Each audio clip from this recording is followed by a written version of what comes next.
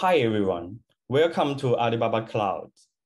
Today, we are going to introduce how to create your first ECS instance on Alibaba Cloud.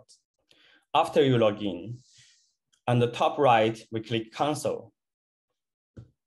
On top left, we type ECS, choose Elastic Compute Service, click instance, create instance, for the billing method, we choose pay as you go. For the region, we choose Thailand, Bangkok. And for the instance type, we do filter, two vCPU, one gigabyte. And for the quantity, we choose one unit. For the image, we choose CentOS 7.5.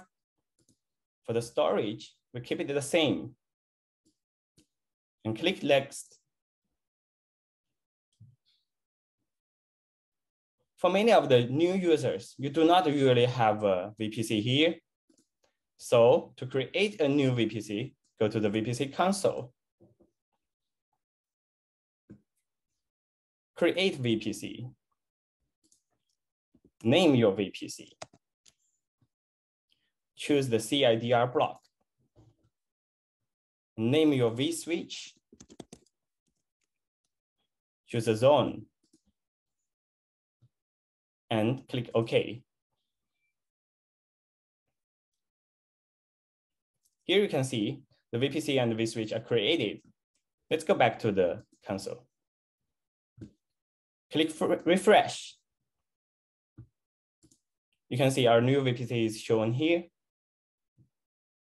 as well as a new vSwitch assign public IPv4 address, pay by traffic, and click next. Password, give it the password.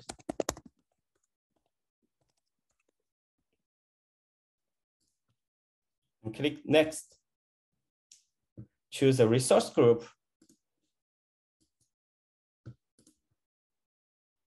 and click next. Here you will see the preview of our ECS resources. Once you confirm terms of the service and create instance,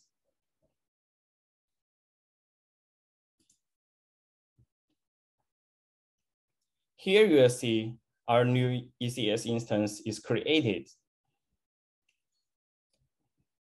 Click connect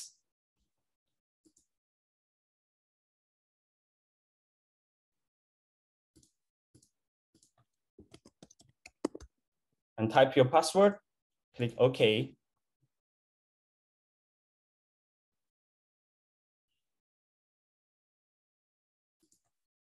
And let's try to do the pin test. Okay, here we have finished the ECS instance create. Thank you for your watching.